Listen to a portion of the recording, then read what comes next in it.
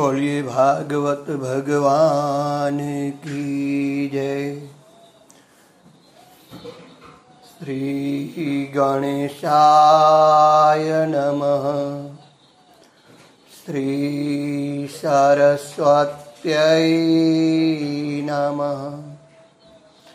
શ્રી ગુરુભ્યો નમઃ.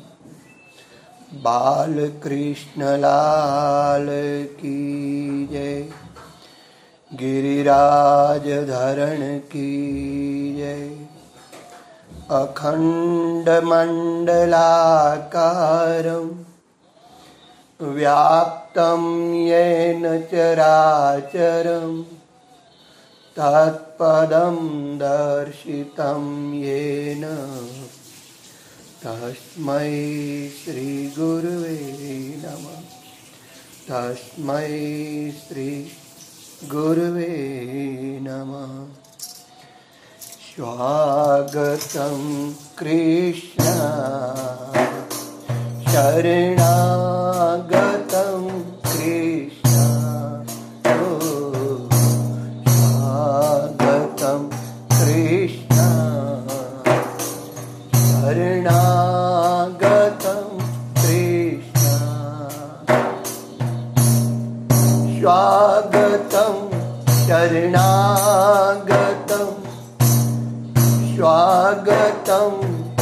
शरणागतं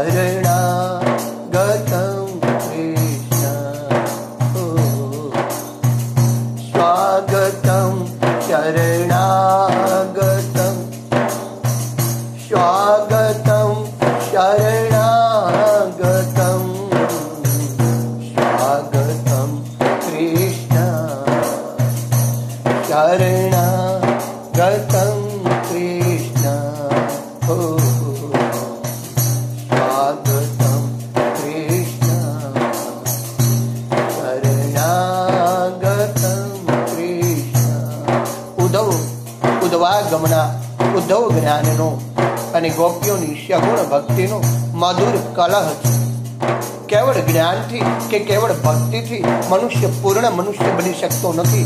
જીવનમાં બંનેનો સમન્વય કરી પ્રેમમય જીવન જીવવાથી જ પ્રભુની પ્રાપ્તિ થાય છે, પ્રભુની કૃપા અનુભવાય છે. એ આ ઉદ્ધવ ગાવનનું રહસ્ય છે. દસમ સ્કંદ પૂર્ણ થાય છે. મનુષ્યના શરીરમાં બે સ્થાન શીર્ષનું છે. ભાગવતમાં એ સ્થાન દસમ સ્કંદનું છે. સમગ્ર ભારતમાં એ તર્ક રમ્ય છે. શ્રી કૃષ્ણના મૂળ પુરુષોત્તમ સ્વરૂપનું એમાં પૂર્ણ દર્શન કરાવ્યું છે. શ્રી કૃષ્ણની ગોકુળ લીલા, એ બાળ લીલા ગોપલીલા અને રાસલીલા જીવ અને પરમાત્માની લીલાનું સ્વરૂપ છે. જીવની આગળ પરમાત્મા વિવિધ સ્વરૂપે પોતાને પ્રગટ કરતા જ રહે છે. પણ જીવ એ જોતો નથી. પણ જે પડે, જીવને પરમાત્માના સ્વરૂપની જરા જેટલી પણ ઝાંખી થાય છે, તે પડે તે જીવ પરમાત્માનો બની જાય છે. ગોપી રૂપ શરીરની ઇન્દ્રિયો શ્રી કૃષ્ણમાં પરોવાઈ જાય અને એનું સતત ચિંતન કરી, એનું ધ્યાન ધરી કૃષ્ણમય બની જાય, ત્યારે જીવને બીજું કંઈ પ્રાપ્ત કરવા પણ રહેતું નથી. ઈશ્વર સર્વત્ર છે, સર્વમાં છે. અત્ર, તત્ર, સર્વત્ર બધે ઈશ્વર જ બિરાજેલા છે. સર્વમાં ઈશ્વર બિરાજેલા છે. કીડી મેં તું નાનો લાગે, હાથી મેં તું મોટો ક્યું? એસો ખેલ રચ્યો મેરે દાતા, જહાં દેખું ત્યાં તું હિ તું. જડમાં, ચેતનમાં બધે એની જ સત્તા વ્યાપ્ત છે. એને પ્રાપ્ત કરવામાં કોઈ નવી ચીજ વસ્તુની પ્રાપ્ત કરવાની નથી. નવું કંઈ છે જ નહીં. ઈશ્વર બહારનું કશું નથી. જે છે તે ઈશ્વર છે. એટલે ઈશ્વરની પ્રાપ્તિ શ્રી કૃષ્ણનું દર્શન એ કેવળ પ્રાપ્તિની પ્રાપ્તિ છે. એમાં કેવળ જ્ઞાન કામ નહીં લાગે, જ્ઞાન અધૂરું છે. જ્ઞાન અને ભક્તિ પ્રેમના પણ બળને પ્રાપ્ત કરી શકતી નથી. દસમ સ્કંધમાં છેલ્લે ઉદ્ધવ ગોપીનો સંવાદ છે. એ કૃષ્ણના જીવન સંદેશને સચોટ વાણીમાં પ્રત્યક્ષ પ્રગટ કરે છે. એનું શ્રવણ મનન જીવને ખૂબ આનંદ આપે છે. કેવળ આનંદ જ નહીં, જીવનનું સાફલ્ય પણ બક્ષે છે. જીવનની સફળતા બક્ષે છે. ગોપીઓ પ્રેમ લક્ષણા ભક્તિની સાચી આચાર્ય છે. ઘરમાં રહીને પ્રભુનું દર્શન કેવી રીતે કરવું જોઈએ તે આપણને આ ગોપીઓ બતાવે છે. શ્રીમદ ભાગવત એ પરમહંસોની સંહિતા છે. પરમાત્માને ભૂલેલો જીવ વાસનામાં સપડાયો છે. વાસનાના કારાગ્રહમાંથી મુક્ત થઈ એ પ્રભુના, પ્રભુ પ્રેમના નિર્મળ ગોકુળમાં જઈ વસે. તે જીવનો ઉદ્ધાર થાય છે. કૃષ્ણ કથા એ જીવન ઉદ્ધારની કથા છે. મૃતાત્માને તો મોક્ષ મળે, પણ જીવતાને, જીવતા મોક્ષ મળી જાય, જીવતા જ ઉદ્ધાર થઈ જાય એવું દિવ્ય કથા છે. જ્ઞાન એકલું શુષ્ક છે. નિર્મળ વૈરાગ્ય પણ એવો જ શુષ્ક છે. પણ જ્ઞાન અને વૈરાગ્યનો ભક્તિ સાથે સંયોગ થાય તો પ્રભુ પ્રાપ્તિનું એ સર્વોત્તમ સાધન પ્રાપ્ત થાય છે. મન શુદ્ધ બને તો જ્ઞાનનો ઉદય થાય છે. ભક્તિ દ્વારા મનને શુદ્ધ કરવાનું છે. અને પરિશુદ્ધ થયેલા મનને પરમાત્માના ચરણોમાં સમર્પિત કરવાનું છે. ગોપીઓની પેઠે ઇન્દ્રિયો સર્વ સર્વાત્મ ભાવે પરમાત્માને શ્રી કૃષ્ણને વરે. અને કૃષ્ણના વિયોગથી જ્યારે તો પરાભક્તિ પ્રગટ થાય છે, પ્રાપ્ત થાય છે. ગોપીઓ પ્રેમ લક્ષણા ભક્તિનો આદર્શ આપણી સમક્ષ રજૂ કરે છે. કૃષ્ણ વિરહમાં ગોપીને વૃંદાવન આખું સ્મશાન વત લાગે છે. અને કૃષ્ણમાં ચિત્ત પરોવી, કૃષ્ણમાં ચિત્ત એવું પરોવી દીધું છે, એવું ઓતપ્રોત થઈ ગયું છે.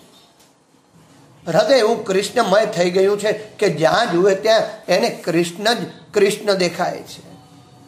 જ્યાં જુએ, જેને જુએ, તે બધું કૃષ્ણ રૂપ દેખાય છે. બધું જ કૃષ્ણ છે. બહાર કૃષ્ણ છે અને અંદર પણ કૃષ્ણ છે. કૃષ્ણ અમને છોડીને ક્યાંય ગયા જ નથી. ગોપીઓને અનેક જન્મોની તપશ્ચર્યા પછી પણ જે દર્શન દુર્લભ છે. તે ગોપીઓને સહજ છે. મહાત્માઓને, યોગીઓને, સિદ્ધિઓને અનેક જમો, જન્મોની તપશ્ચર્યા પછી પણ જે દર્શન દુર્લભ છે તે ગોપીઓને સહજ છે. પ્રભુ પ્રાપ્તિનું અમોઘ અને અદ્ભુત સાધન ભાગવતાકાર આપણા આગળ પ્રત્યક્ષ કરે છે. વિયોગ વિરહનું આ મહાત્મ્ય છે. સંયોગમાં એટલે કે મિલનમાં માત્ર એક જ વ્યક્તિનો અનુભવ થાય છે, પણ વિરહમાં ને વિયોગમાં તો એટલી તન્મયતા પ્રાપ્ત થાય છે કે જ્યાં નજર કરો, ત્યાં પ્રભુ સિવાય બીજું કંઈ દેખાય જ નહીં. સંયોગ કરતા વિયોગ ચડી જાય છે. બધા યોગ કરતા પણ વિયોગ ચડી જાય છે. એટલે તો એને વિયોગ કીધો છે. વિયોગ એટલે વિશિષ્ટ યોગ. આ વિશિષ્ટ યોગ ગોપીઓનું સિદ્ધ છે.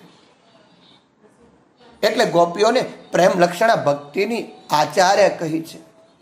હવે જરાસંદની કથા આવે છે. જરા એટલે ગડપણમાં, જરા એટલે ગડપણ અને મથુરા એટલે શરીર. જરાસંદ મથુરા ઉપર ચડાઈ કરે છે.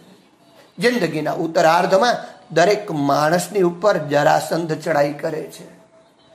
પચાસ વર્ષની ઉંમર થયા પછી સાંધા દુખે તો જાણવું કે જરાસંધની ચડાઈ આવી છે.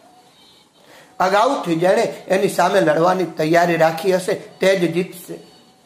માટે યુવાનીમાં ખૂબ સાવચેત રહો, સાવધાન રહો. યોગ પ્રાણાયામ દ્વારા આ શરીરને સુદ્રઢ બનાવો, ભક્તિ દ્વારા શ્રેષ્ઠ બનાવો. જરાસંધ મથુરા આવે છે, એટલે મથુરાના દરવાજા તૂટવા લાગ્યા છે. આંખોથી ઓછું દેખાય છે, ખાધેલું પચતું નથી અને શરીરની શક્તિ ઓછી થતી જાય છે, ક્ષીણ થતી જાય છે, ત્યારે ધીરે ધીરે પ્રવૃત્તિ ઓછી કરો અને પ્રભુ માટે સમય વધારો. શ્રી કૃષ્ણે સત્તર વખત જરાસંધને હરાવ્યો છે. અઢારમી વાર તે કાળ યવનની સાથે આવે છે.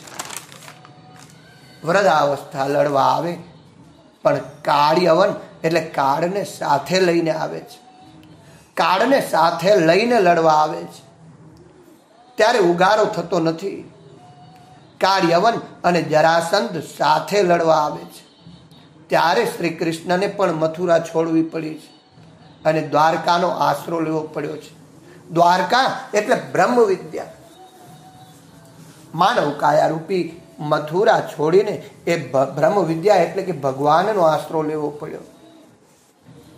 માટે વૃદ્ધાવસ્થા કાળ સાથે તમારા શરીર ઉપર ચડાઈ કરે તે પહેલા બ્રહ્મ વિદ્યાને આશ્રય જજો. બ્રહ્મનિષ્ઠને કાળ કે વૃદ્ધાવસ્થા પજવી શકતા નથી. બાકી જરાસંધનો ત્રાસ એટલે જન્મ મરણનો ત્રાસ. જન્મ ધારણ કરવો એ જ નરકવાસ છે. વાસનાના બંધનથી જ જન્મ થાય તે નરકવાસ. માટે કાળ અને જરાસંધ ધક્કો મારીને કાઢે તે પહેલા ચેતી જાજો. કંસની રાણીઓ અસ્થિ અને પ્રાપ્તિ.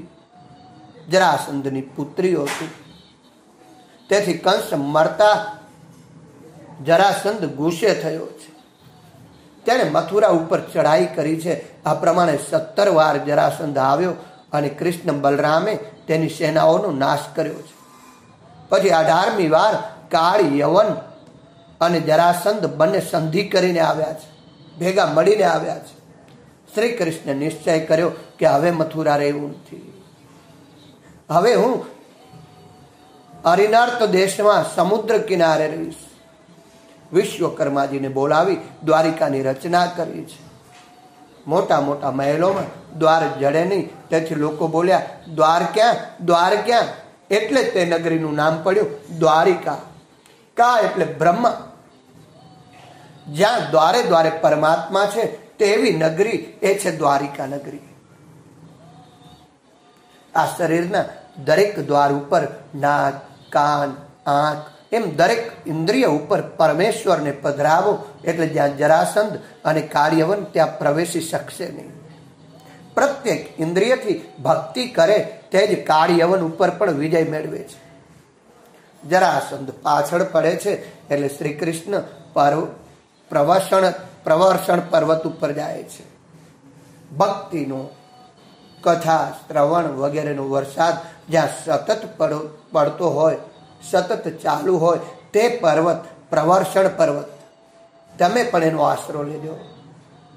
એકાવનમાં પ્રવેશ એટલે વનમાં પ્રવેશ. વન પ્રવેશ કરો, ત્યારે વનમાં જજો. ઘર છોડી ગંગા કિનારે પવિત્ર ભૂમિ ઉપર રહેવા દેજો. જરાસંધનો ત્રાસ એ જન્મ મરણનો ત્રાસ છે. માટે નિશ્ચય કરો કે હવે મારે પુરુષ થવું નથી, મારે સ્ત્રી થવું નથી, મારે જન્મ લેવો જ નથી. જન્મ મરણના ત્રાસમાંથી છૂટવા માટે રોજ એકવીસ હજાર નામ જપ, નિયમ પૂર્વક કરો. કથા સાંભળવાથી પાપ બળે છે. કથા માર્ગદર્શન પણ આપે છે. કથામાંથી કંઈક નિયમ લો. ભગવત ભક્તિનો નિયમ લો, નામ જપનો નિયમ લો, કંઈક ત્યાગ કરવાનો નિયમ લો. બે નિયમો તો દરેકે લેવા જોઈએ. પાપ છોડવાનો નિયમ લેવો જોઈએ અને સત્કર્મ કરવાનો નિયમ લેવો જોઈએ.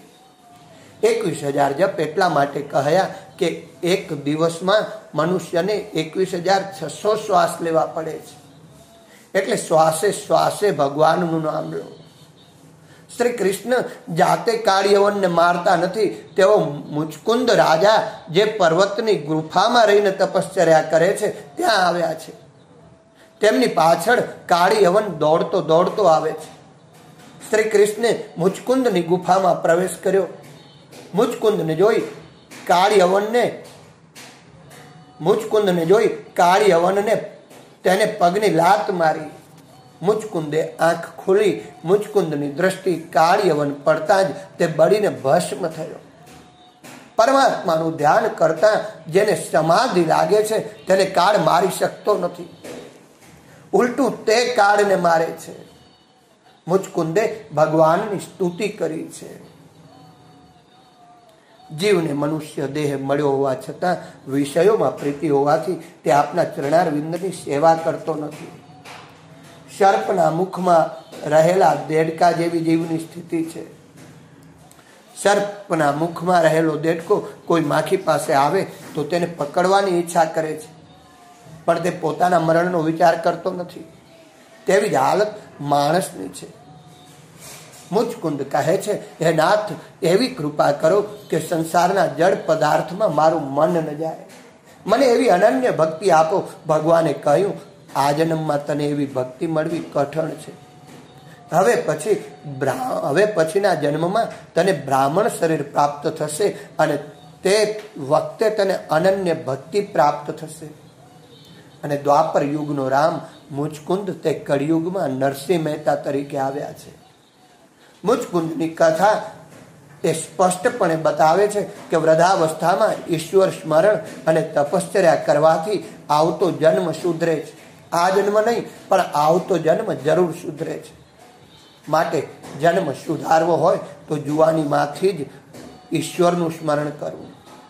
ધીરે ધીરે ધીરે સંયમ વધારો. પરમાત્મા લક્ષ્મી છે, જીવ લક્ષ્મીનો બાળક છે. તેથી જીવાત્મા લક્ષ્મીનો ઉપયોગ કરી શકે. પણ તેનો ઉપયોગ એક નારાયણ કરી શકે. ઉપયોગ અને ઉપભોગમાં ફેર છે. શરીરને આવશ્યક વિષયો ઇન્દ્રિયને આપે તે ઉપયોગ અને ઇન્દ્રિયોને આધીન થઈ વિષયો ભોગવે તે ઉપભોગ. પૈસાનો દુરુપયોગ થાય તો આ જીવન બગડે છે.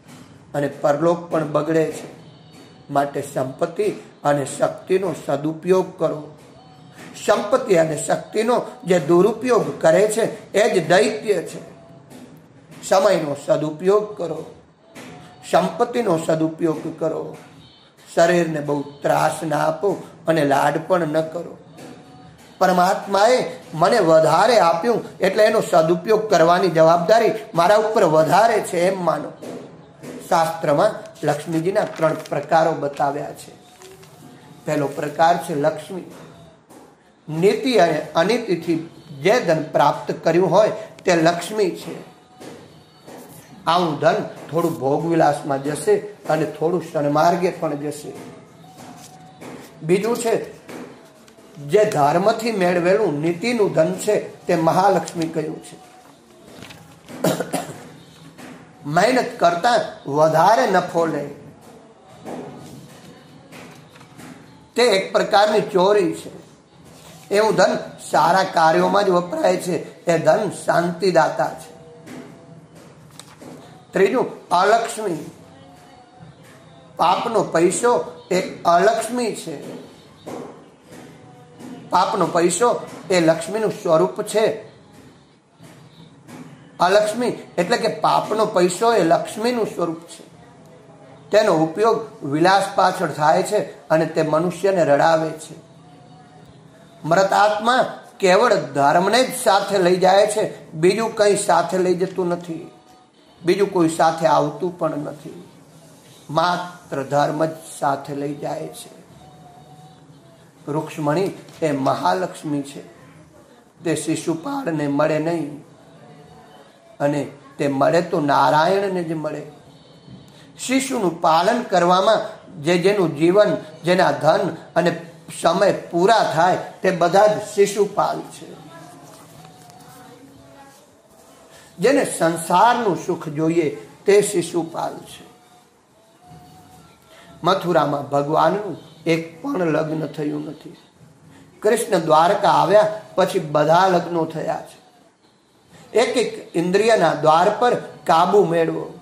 બ્રહ્મ વિદ્યાને પ્રાપ્ત કરો, તે પછી લગ્ન કરો. તેથી ગ્રહસ્થાશ્રમ પહેલા બ્રહ્મચર્યાશ્રમ બતાવ્યો છે. મહારાજા ભીષ્મક વિદર્ભ દેશના રાજા છે. તેને પાંચ પુત્ર અને એક કન્યા છે. રાજાના મોટા પુત્રનું નામ રૂકમી અને કન્યાનું નામ રૂક્ષ્મણી છે. રૂક્ષ્મણીની માતાનું નામ શુદ્ધમતી છે.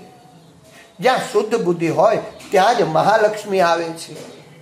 ભીષ્મક રાજાની ઈચ્છા રૂક્ષ્મણીનું લગ્ન કૃષ્ણ સાથે કરવાની છે. પરંતુ રૂક્મણીએ વિરોધ કર્યો કે મારી બહેન હું એ ગોપાળને નહીં આપું, એ ગોવાળિયાને નહીં આપું. હું શિશુપાલને આપીશ.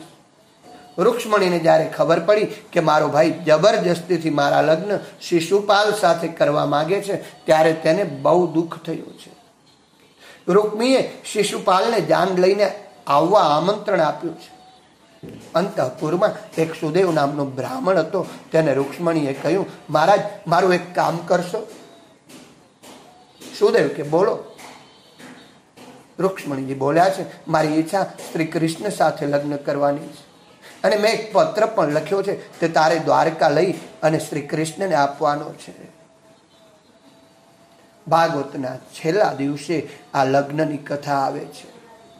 જેને તક્ષક નાગનો દંશ થવાનો છે, તેને લૌકિક લગ્નની વાતો સાંભળવાની ન હોય, મારીને સમીપ હોય, તેને લગ્ન વાર્તા કેમ ગમે? યોગીઓમાં શ્રેષ્ઠ એવા પરમહંસ શિરોમણી સુખદેવજી લગ્નની કથા કરે ખરા? એટલે આ તો જીવ ઈશ્વરના લગ્નની કથા છે. અને રૂક્ષ્મણીનો પત્ર જોઈએ તો તેમાં લખ્યું છે, હું નિષ્કામ છું. મારા મનમાં કોઈ પ્રકારની કામ વાસના નથી. રૂક્ષ્મણી નિષ્કામ છે શ્રી કૃષ્ણ નિર્વિકાર છે. નિષ્કામ, નિર્વિકારનું આ મિલન છે. એટલે આ શ્રી કૃષ્ણના લગ્ન પ્રસંગની ભાષા લૌકિક છે, પરંતુ તેની પાછળનો સિદ્ધાંત એ અલૌકિક છે. લગ્નની વાત નથી. આ જીવના લગ્ન ઈશ્વર સાથે થાય તે બતાવવાનો આ લગ્નનો હેતુ છે. ભાગવતના શ્લોકનો વિચાર કરતા આ સુંદર અર્થ નીકળે છે. લગ્ન પહેલા રૂક્ષ્મણી શું કહે છે તે જોયું? લગ્ન પછી ભગવાન રૂક્ષ્મણીને કહે છે, મને કોઈ સ્ત્રીની જરૂર નથી. મને વંશ વૃદ્ધિની પણ ઈચ્છા નથી. લગ્ન કર્યા પછી કોઈ પુરુષ આવું કહે ખરો? પ્રભુને પરણવાની ઈચ્છા કરે, તેને સગાવાલા બહુ ત્રાસ આપે છે. રૂકમી અને રૂક્ષ્મણીના લગ્નમાં રૂકમી પણ રૂક્ષ્મણીના લગ્નમાં વિઘ્ન કરે છે. પરંતુ આ વિઘ્નો સદગુરુનો આશ્રય લે તો દૂર થાય છે. તેથી રૂક્ષ્મણી પણ સુદેવ બ્રાહ્મણનો આશરો લે છે. જેને પ્રભુને મળવું છે, તેણે જીવન સાદું રાખવું જોઈએ. આમ સુદેવ, બ્રાહ્મણ કૃષ્ણ પાસે જાય છે પત્ર લઈને રૂક્ષ્મણીજીનો. પત્ર રૂક્ષ્મણીનો લઈને બ્રાહ્મણ પત્ર રૂક્ષ્મણીજીનો લઈને બ્રાહ્મણ ચાલ્યા આવ્યા દ્વારિકાની માય, દ્વારકાના નાથને પત્ર આપ્યો છે હાથો હાથ.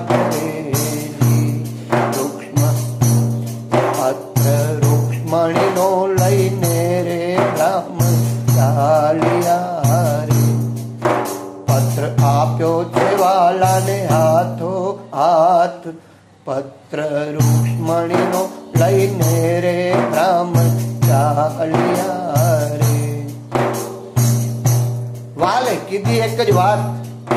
વાંચો પત્રમાં શું છે ખાસ?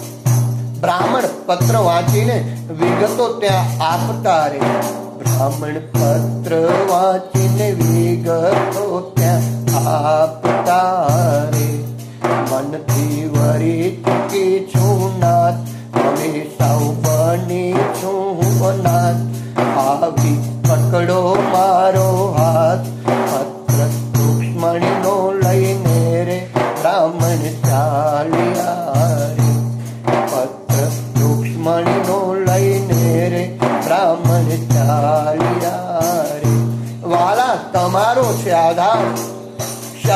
તમારું છે કીર્તાર મુજને ડુબાડો કે તારો. પત્ર રૂક્ષ્મણીનો લઈને રે રામણ ચાલ્યા વાલા તમારો છે રે આધાર ચરણ. તમારું છે કીર્તાર મુજને ડુબાડો કે તાર. પત્ર રૂક્ષ્મણીનો લઈને રે બ્રાહ્મણ ચાલ્યા નૈયા તમારે હાથ, નાવિક બનજો દીનાનાથ તમારો પૂજને એક જ સાથ. પત્ર રૂક્ષ્મણીનો લઈને રે બ્રાહ્મણ ચાલ્યા રે પત્ર રૂક્ષ્મણીનો લઈને રે બ્રાહ્મણ ચાલ્યા રે પ્રભુએ વિચારી છે વાત भाग्यो मारो साथ तेना कष्टों का पूरे पलक वार मारे। पत्र लक्ष्मणि नो लयने रे ब्राह्मण प्रभुजि तरस तैयार तैर्या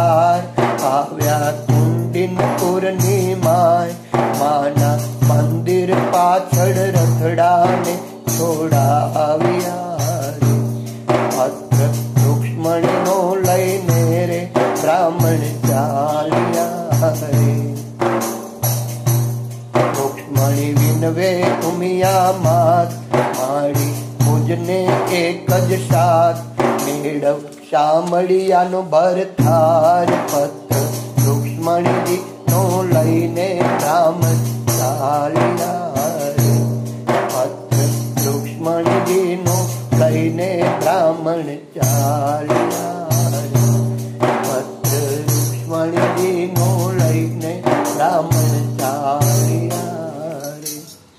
પ્રભુને પરણવાની ઈચ્છા કરે, તેને સગાવાલા બહુ ત્રાસ આપે છે. રૂકમી પણ રૂક્ષ્મણીના લગ્નમાં વિરોધ કરે છે, પરંતુ આ વિઘ્નો સદગુરુનો આશ્રય લે તો દૂર થાય છે. રૂક્ષ્મણી પણ સુદેવ બ્રાહ્મણનો આશરો લે છે, જેને પ્રભુને મળવું હોય તેણે જીવન સાદું રાખવું જોઈએ. રૂક્ષ્મણીજી પાર્વતીનું પૂજન કરવા ગયા, ત્યારે ચાલતા જ મંદિરે ગયા છે. દીકરી રાજાની છે, પણ જીવન ખૂબ સાદું છે. માટે આ જીવ ઈશ્વર સાથે પરણે ત્યારે જ કૃતાર્થ થાય છે. રૂક્ષ્મણી વિવાહ એ જીવ ઈશ્વરનું લગ્ન છે. રૂક્ષ્મણી ભગવાનની આદ્ય શક્તિ છે. પણ કોઈ સંત મધ્યસ્થી ન બને ત્યાં સુધી જીવ શિવનું મિલન થતું નથી. રૂક્ષ્મણીએ સુદેવ બ્રાહ્મણ મારફત શ્રી કૃષ્ણ ઉપર પત્ર મોકલ્યો છે. સુદેવ બ્રાહ્મણ પત્ર લઈને દ્વારિકા આવ્યો છે. સુદેવને આવતો જોઈ દ્વારિકાનાથ ઊભા થયા છે. ભોજન, પછી કુશળ સમાચાર પૂછ્યા છે. સુદેવે કહ્યું, હું ખાસ પત્ર આપના માટે લઈને આવ્યો છું. રુક્ષ્મણીજીનો પત્ર છે, શ્રી કૃષ્ણને આપે છે. કૃષ્ણ પત્ર વાંચે છે. રુક્ષ્મણીએ સુંદર પત્ર લખ્યો છે.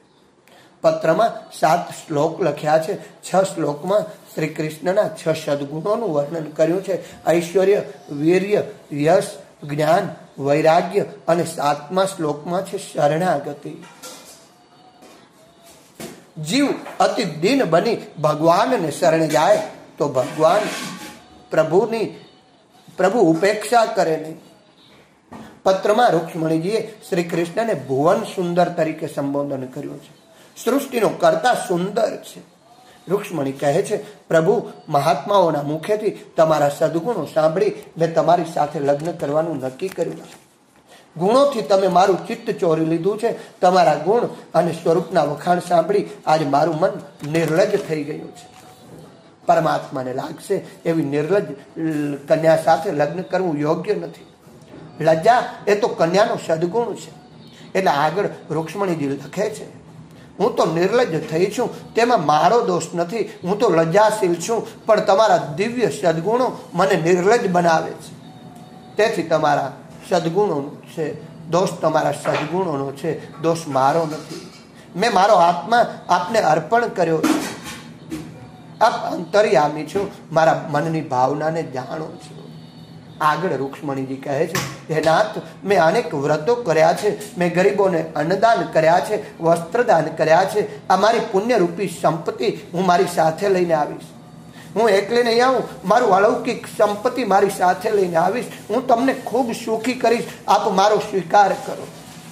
આ પ્રમાણે પોતાની સાચી સંપત્તિનો ઉલ્લેખ કર્યો. તે પછી રૂક્ષ્મણીજીએ પોતાની બુદ્ધિનો પરિચય પણ આપ્યો છે.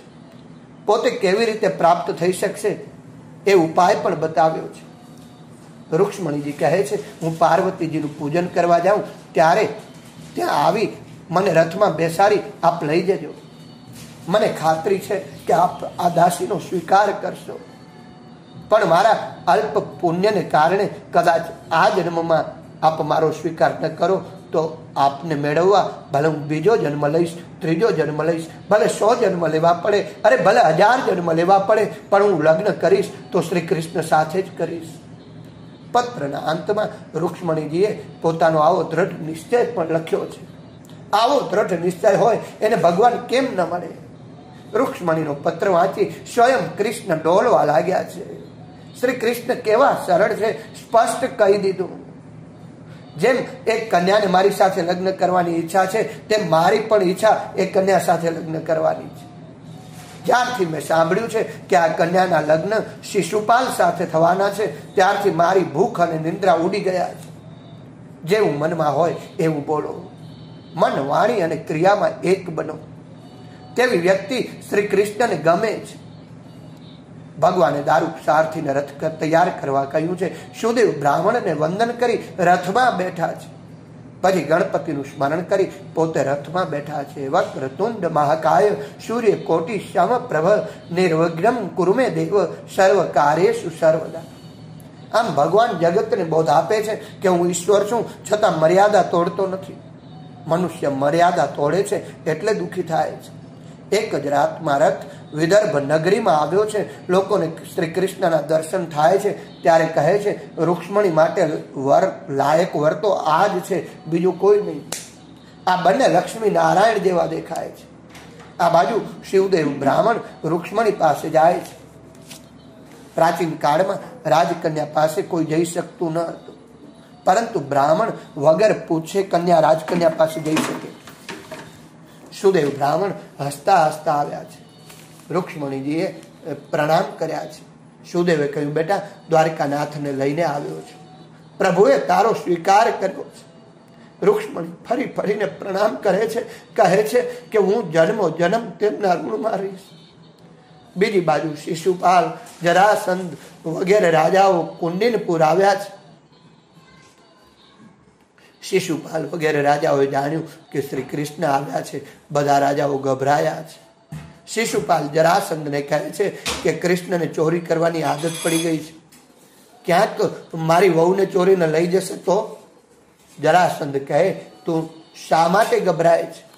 અમે ફક્ત લાડવા ખાવા નથી આવ્યા, અમે તારા માટે લડશું. રૂકમીએ કહ્યું, મેં એવો બંદોબસ્ત કર્યો છે કે મારી બેન પાસે એક ચકડું પણ જઈ શકશે નહીં. આ બાજુ રૂક્ષ્મણીનું માંગલિક સ્નાન થયું છે. સ્નાન પછી શ્રૃંગાર થયો છે. શ્રૃંગાર પછી રૂક્ષ્મણીજી તુલસીજીની પૂજા કરે છે. ત્યારબાદ માતા પિતાને વંદન કરે છે. માતાજીને કહે છે કે, બેટા, માતાજી કહે છે, બેટા, તારું લગ્ન થવાનું છે. માટે આજ પાર્વતીના મંદિરે તું ચાલતી ચાલતી દર્શન કરવા જજે. એ માતા એ માતા પિતાને વંદન કર્યા પછી રૂક્ષ્મણીજી માતાજીને ફરીથી વંદન કરે છે. રૂક્ષ્મણી ચાલતા ચાલતા મંદિરમાં પાર્વતીજીની પૂજા કરે છે, પૂજા કરે છે. પાર્વતીજીની, પણ પાર્વતીજીની મૂર્તિમાં દેખાય છે મારા દ્વારિકાના આ જ અનન્ય ભક્તિ છે. રૂક્ષ્મણી પૂજા કરી બહાર આવ્યા છે, ધીરે ધીરે ટેકરી ઉપરથી નીચે ઉતરે છે, રાજાઓ આવ્યા છે. તેઓ એમને જોઈને કહે છે, વાહ, સુંદર કન્યા છે. રાજાઓ આમ કામ વાસનાથી રૂક્ષ્મણીજીને જોતા હતા, તેથી માતાજીએ આંખમાંથી અલૌકિક તેજ પ્રગટ કર્યું. તેજ સહન ન થયું એટલે રાજાઓને મૂર્છા આવી ગઈ ને તે પડ્યા ખાડામાં. ત્યારે પ્રભુએ દારૂક સારથીને કહ્યું, રથ ચલાવો. નીચે પડેલા રાજાઓ ઉપરથી દારૂ કે કૂદીને રથ ચલાવ્યો છે. રથ મંદિર પાસે આવ્યો. રૂક્ષ્મણીજીએ ગરુડ ધ્વજવાળો રથ જોયો. રૂક્ષ્મણીજીને આનંદ આનંદ થયો છે. પ્રભુએ હાથ પકડી રૂક્ષ્મણીજીને રથમાં બેસાડી અને દ્વારકાના માર્ગે રથ ઉપાડ્યો છે. હવે રાજાઓ ભાનમાં આવ્યા. તેઓ કપડાની ધૂળ ખંખેરતા ઊભા થયા. ચારે બાજુ બૂમા બૂમ થઈ કે રૂક્ષ્મણીને લઈને કૃષ્ણ ગયો કૃષ્ણ ગયો. શિશુપાલ જરાસંદને કહે છે કે મારું આજે તમે નાક કપાયું. આમ બોલતા શિશુપાલ દંતચક્ર જરાસંદ વગેરે રાજાઓ શ્રી કૃષ્ણની સાથે લડવા નીકળ્યા છે. બીજી બાજુ દાઉજી એટલે કે બળદેવજી કૃષ્ણની મદદે આવીને ઊભા છે. એ સાંભળી લડવા નીકળેલા ના, બધાના મોતિયા મરી ગયા છે. જે કહેતા હતા, અમે લાડવા ખાવે આવ્યા નથી અમે લાડવા ખાવા નથી આવ્યા, તે રાજાઓ પણ ભાગી ગયા છે. શિશુપાલ એકલો લડે છે, બેસી રહે છે જરાસંદ ત્યાં આવ્યો છે. શિશુપાલને કહે છે, એકલો કૃષ્ણ હોત તો હું તેને હરાવત, પણ આ દાહુજીને હરાવવો મુશ્કેલ છે. આપણા માટે આ અનુકૂળ સમય નથી. ચાલ, જીવતા આવીશું. તો આ નહીં તો બીજી હજારો કન્યાઓ મળશે. શિશુપાલ હવે વેલું મોં કરીને ઘરે પાછો આવ્યો છે. રૂક્ષ્મણી સાથે રૂક્ષ્મણી સાથે શ્રી કૃષ્ણ રથમાં બિરાજ્યા છે. ત્યાં રૂકમી યુદ્ધ કરવા આવ્યો. કૃષ્ણ તેને પકડીને રથની સાથે બાંધ્યો છે. તેવામાં દાઉજી પણ ત્યાં આવ્યા. તેમણે શ્રી કૃષ્ણ ભગવાનને ઠપકો આપ્યો અને રૂકમીને છોડાવીને પોતે હાથ જોડી તેનું સન્માન કર્યું. જેઠનું મોટું દિલ જોઈ આજે રૂક્ષ્મણી પણ ખુશ થઈ છે.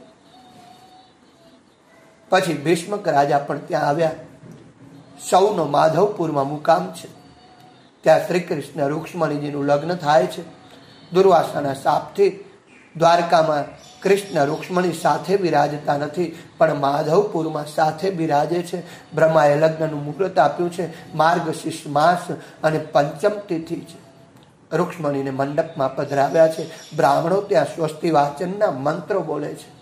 ઓમ गणानां ત્વા ગણપતિ ગ્વંઘવામહે નિધિનામ ત્વા નિધિપતિ ગ્વંઘવામહે વશો મમ આમ જાની ગર્ભધમ્મ ત્વમ જાસી ગર્ભધમ્મ ઓમ સ્વસ્તિ ન ઇન્દ્રો વૃધસ્રવા સ્વસ્તિ ન પૂષા વિશ્વવેદા સ્વસ્તિ स्वस्ति नो बृहस्पतिर्दधातु ॐ पयः पृथिव्यां पय औषधीषु पयो दिव्यन्तरिक्षे पयोधाः पयस्वती सन्तु मह्यम् ॐ विष्णोरराटमसि विष्णो सप्त्रेथो विष्णौ सूर्यसि विष्णौ मसि वैष्णवे त्वा વૈષ્ણવે ત્વા ઓમ અગ્નિર્દેવતા વાતો દેવતા સૂર્યો દેવતા ચંદ્રમા દેવતા વશવો દેવતા રુદ્રા દેવતા આદિત્યા દેવતા મરુતો દેવતા વિશ્વે દેવા દેવતા બૃહસ્પતિર્દેવેન્દ્રો દેવતા ઓમ દ્યહુ શાંતિરંતરિક્ષગં શાંતિ પૃથ્વી શાંતિ રાપઃ શાંતિરૌષધય શાંતિ વનસ્પતય શાંતિર્વિશ્વે દેવા શાંતિ બ્રહ્મ શાંતિ સર્વગં શાંતિ શાંતિરેવ શાંતિ શ્યામા શાંતિરેધિ ઓમ વિશ્વાનિ દેવ સવિતુર્દુરિતાनि પરાશુવ યદ્ભદ્રમ તન્ન આશુવ ઓમ શાંતિ શાંતિ સર્વારિષ્ટ સુખ શાંતિર્ભવતુ પાવન સ્વસ્તિ વાચનના મંત્રો બ્રાહ્મણ બોલે છે કપાળ પર કસ્તુરીનું તિલક છે વૃક્ષ સ્થળ ઉપર કૌસ્તુભ મણી છે નાસાગને અતિ સુંદર મોતીની માળા છે હથેળીમાં વાંસળી છે હાથમાં કંકડ છે આખાએ શરીર ઉપર હરિચંદનનો લેપ કર્યો છે અને ગળામાં મનોહર મોતીઓની માળા ધારણ કરી છે અને ગોપીઓથી તે ઘેરાયેલા છે એવા પ્રભુ હંમેશા સર્વનું કલ્યાણ કરો. લક્ષ્મીનારાયણના દર્શન કરતા યાદવોને પરમ આનંદ થયો છે. રૂક્ષ્મણી મહાલક્ષ્મી છે, કૃષ્ણ સાક્ષાત નારાયણ છે. ઘરમાં લક્ષ્મીને માતા તરીકે રાખશો તો તમે સુખી થશો. એટલે કે લક્ષ્મીનો દુરુપયોગ નહીં કરતા એને ખોટી જગ્યાએ મોજ શોખમાં નહીં ઉડાવતા. ઘરમાં જો લક્ષ્મી તરીકે રાખશો તો ખૂબ સુખી થશો. લક્ષ્મીનો દુરુપયોગ ન થાય. અને જો તેના ધણી થવા જશો, તો તે તમને લાત મારશે. લક્ષ્મીનો ધણી એક જ છે ને તે છે ઈશ્વર. આમ રૂક્ષ્મણી કૃષ્ણના લગ્ન થયા છે, આનંદ આનંદ થયો છે. પછી ભગવાનના બીજા લગ્નોની વાત આવે છે, તે આપણે આવતીકાલે કાલે કરીશું. સ્વાગતમ કૃષ્ણ, શરણાગતમ કૃષ્ણ. સ્વાગતમ